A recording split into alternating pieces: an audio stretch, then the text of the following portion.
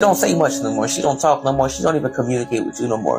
A problem happened in a relationship. She don't even bring that shit up no more. Because at that point, when she gets to that point, it's like, what's the point? I bring it up, nothing happens. So I might as well just stay silent, just go about my day and whatever, and then whatever happens, happens. When a woman gets to a point of it is what it is, bro, she already walked away, she's still there. And you might be like, well, why, why doesn't she walk away?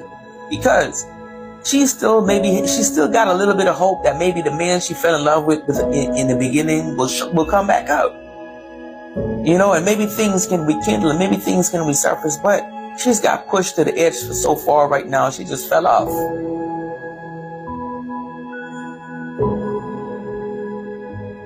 And if you want a woman like that to completely remove their silence, then you got to remove everything you've done that made her got to that point of silence.